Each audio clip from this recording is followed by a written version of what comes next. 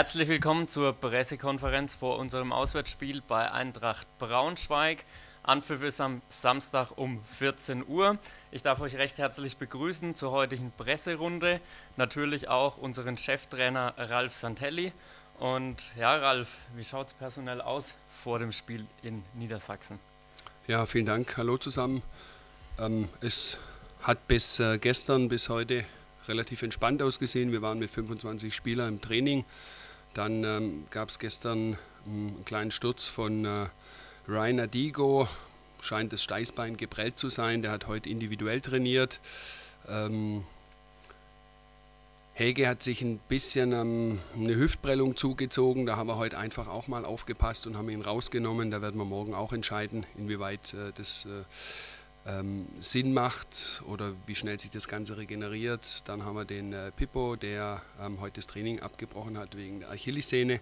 Zum Prinzip sind wir von den äh, 25, wo wir gestartet sind. Diese Woche sind wir jetzt mit 22 zum heutigen Tag ähm, in, dem, äh, ja, in dem Finish. Morgen werden die 18 Feldspieler plus zwei Torhüter nominiert, die mit nach Braunschweig fahren. Langzeitverletzte sind bekannt. Ja. Danke dir, Ralf. Dann übergebe ich das Wort an euch. Wer mag den Anfang machen? Felix Mock von der Mainpost. Ja, hallo zusammen, hallo Herr Santelli. Hallo.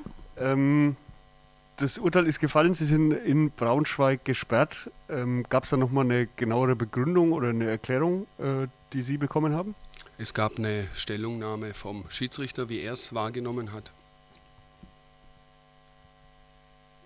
Die Sie für sich behalten?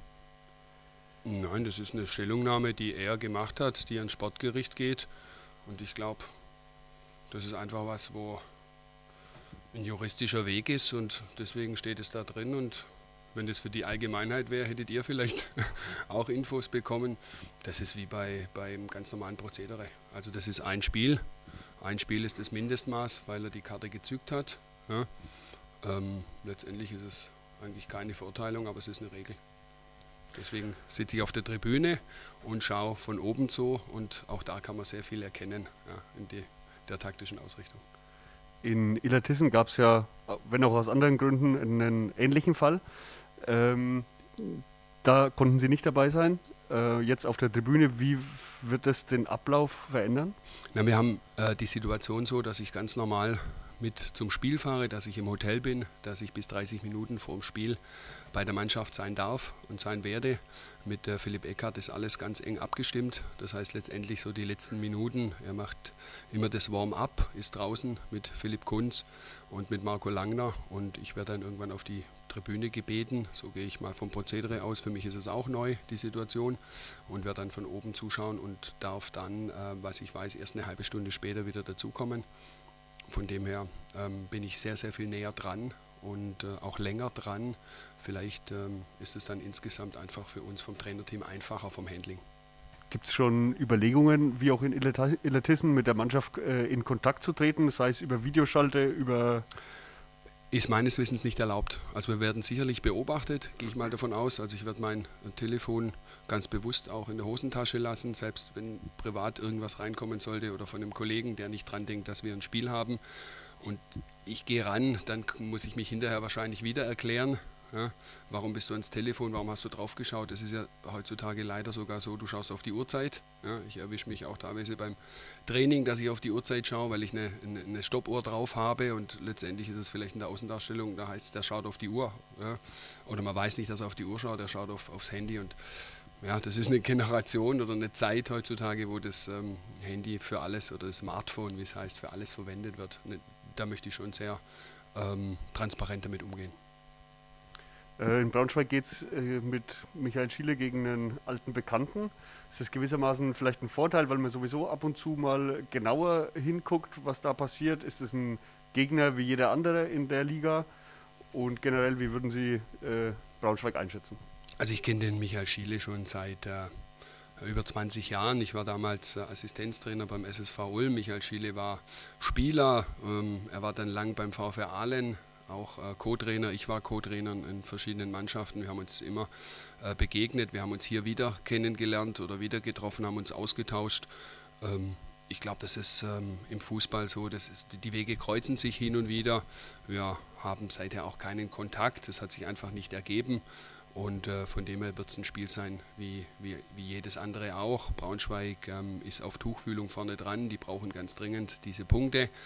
Ähm, und dementsprechend, ähm, glaube ich, ist Braunschweig am Zug in einem Heimspiel. Vielleicht nochmal kurz die Nachfrage, was speziell Braunschweig äh, stark macht?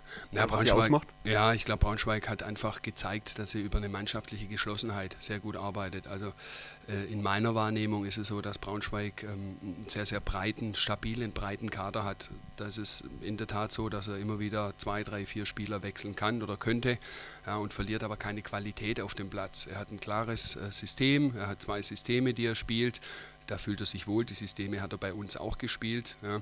Und ähm, ich glaube, das ist so ein bisschen ähm, der Erfolg. Er hat eine sehr hohe individuelle Qualität und äh, in der Mannschaft drin und äh, arbeitet gegen den Ball sehr gut. Es ist aber auch seine Art als Trainer zu arbeiten. Und ähm, ich denke, von dem her wissen wir da schon relativ gut, was auf uns zukommt. In Braunschweig wird David Kupacz gesperrt fehlen. Ja. Gibt es da schon konkrete Überlegungen, wie man ihn ersetzt? Nee, konkret nicht. Wie gesagt, wir haben ähm, 18 Feldspieler. Wir haben natürlich die verschiedenen Varianten mal durchgespielt, heute auch im Training. Man kann sicherlich über Stefaniak nachdenken, der über die Seite kommt. Man kann über Hausiel nachdenken, man kann über Mo Heinrich nachdenken. Also da haben wir schon Optionen, wo wir, wo wir machen können oder könnten. Und ähm, ganz abwegig wäre auch nicht, dass man Marvin Pouré über rechts kommen lässt. Ja, der hat ja auch schon auf der Seite gespielt.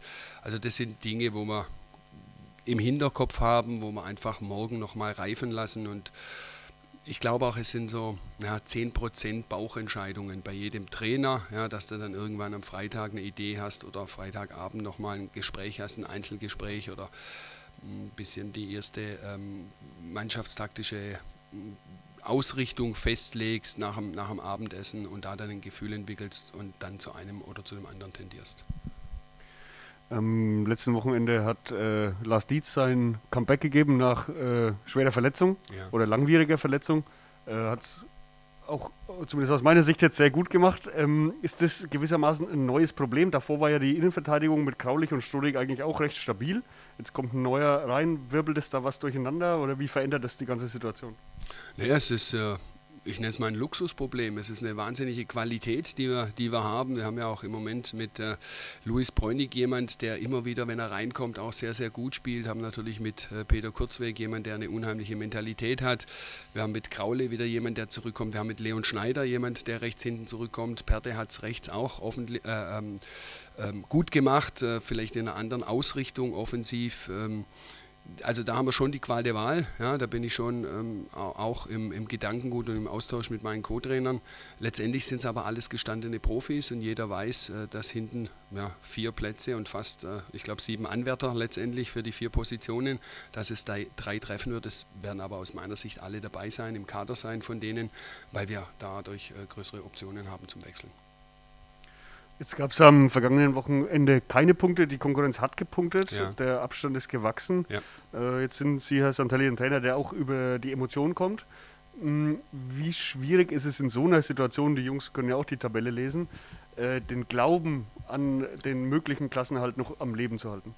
Na, der Glaube ist da, wohl wissen, dass wir einen, vielleicht auch einen letzten Strohhalm haben. Braunschweig muss punkten.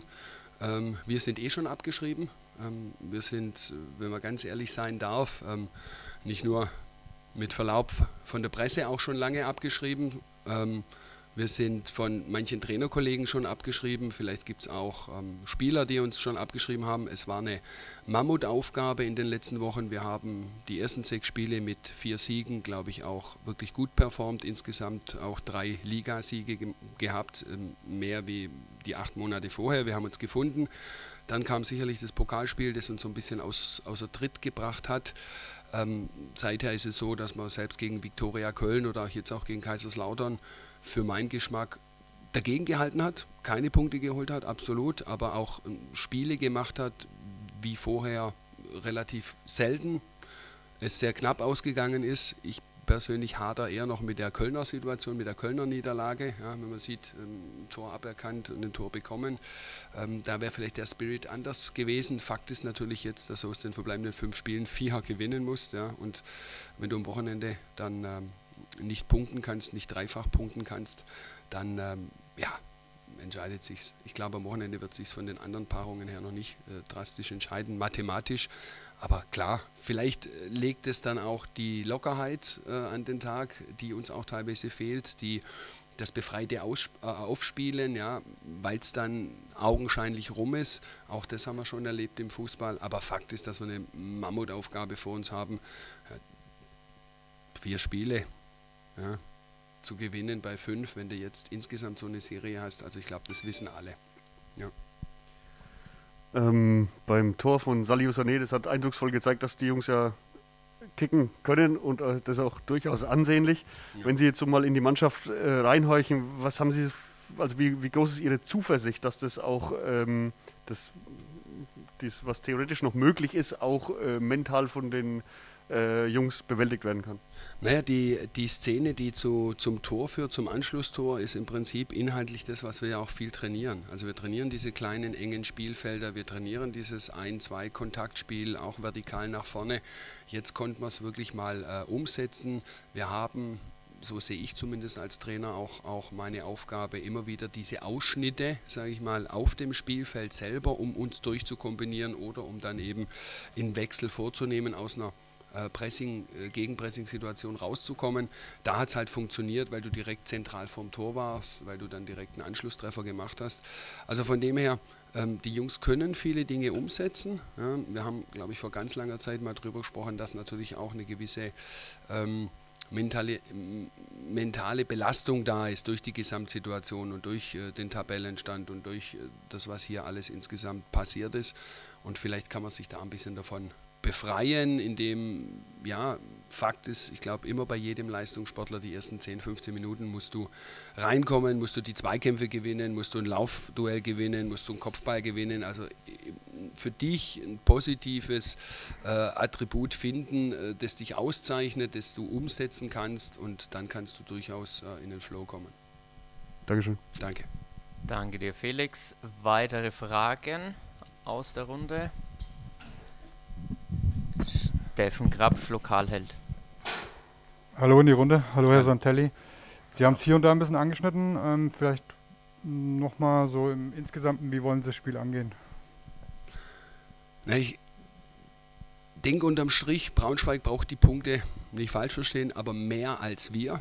Natürlich wollen wir punkten dort, wir wollen einen Punkt, vielleicht auch drei Punkte, aber es macht aus meiner Sicht ähm, keinen Sinn, dass wir dort äh, ganz, ganz hoch pressen, dass wir ganz früh pressen, dass wir ähm, im Gegensatz, äh, wie wir es in Kaiserslautern versucht haben, ähm, sehr, sehr aggressiv draufgehen. Ich denke, dass wir unsere Spielweise ähnlich machen werden wie die Spiele davor, wo wir auch erfolgreich gepunktet haben, dass wir uns ähm, ja, überlegen, wie hoch tatsächlich wir stehen, was wir zulassen, um dann eben in eine, in eine äh, Bereitschaft zu kommen, um dort dann anzusprinten und auch Bälle zu erobern.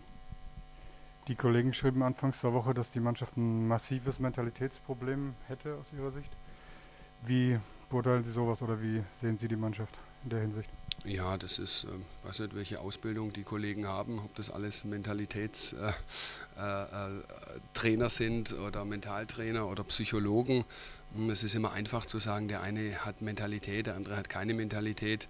Ähm, es gibt Situationen bei uns im Leben, da hast du eine, eine, eine, Situation, wo du dann den Kopf hängen lässt und schon wird äh, die nonverbale Sprache angesprochen und sagt, der lässt die Schultern hängen, der lässt den Kopf hängen, der hat keine Mentalität. Fakt ist, dass wir einfach viele Nackenschläge haben, aber auf der anderen Seite sieht man auch immer wieder, dass wir uns äh, befreien in vielen Situationen. Natürlich sprechen wir hier von einer, von einer Situation, wenn wir über 90 Minuten viele Dinge besser gelöst hätten in der Vergangenheit, in den anderen Spielen, ähm, dann würde ich auch nicht hier sitzen. Ja, dann hätten es meine Kollegen vorher auch schon besser lösen können. Und dann wäre die Situation eine andere. Mentalitätsproblem ist immer so ein, so ein, so ein weiter Begriff. Ähm, ich glaube insgesamt, dass jeder, der Leistungssport machen möchte, äh, gewinnen möchte. Ja, und jeder halt auch leider damit anders umgeht ja, oder es anders zeigt. Und äh, von dem her äh, ist es eine schwierige Situation. Ja. Zur Ausgangslage noch kurz. Ähm, durch Türkgücü ist es ja ein bisschen verzerrt. Also Ja. Berlin hat ja ein Spiel mehr. Muss man das jetzt der Mannschaft auch nochmal ein bisschen näher bringen, dass man den Kontext versteht? Also dass es jetzt nicht zwangsläufig zehn Punkte jetzt gerade sind. Nö, das habe ich auch jetzt nicht getan. Das ist, ähm, wir haben auch die letzten Male, ganz, also zumindest das Trainerteam, nicht aktiv auf die Tabelle hingewiesen oder auf den Abstand, sondern in der Tat wirklich zu sagen, wie wollen wir diese Woche ähm, trainingstechnisch, trainingsinhaltlich gestalten und äh, wie können wir am Wochenende das Spiel angehen. Und genauso, glaube ich, sollten wir auch weiterverfahren, dass die Jungs natürlich draufschauen und dass sie WhatsApp kriegen oder Telefon, äh, es klingelt oder auch im, der Berater im Hintergrund schon schon Ideen hat, wo es denn hingehen könnte nach dieser Saison, ähm, weil ja jeder schon weiß, wie es ausgeht. Ja, alles ähm, eine, eine ganz ähm, ja, schwierige Situation unterm Strich, aber nicht von unserer Seite aktiv zu kommentieren. Dankeschön und viel Erfolg. Danke. Danke dir, Steffen. Gibt es weitere Fragen? Wenn dem nicht der Fall ist, danke ich euch recht herzlich für euer Kommen. Ralf, dir natürlich Danke. für deine Antworten und wünsche allen hoffentlich mit drei Punkten im nächsten frohes Osterfest. Dankeschön. Dankeschön.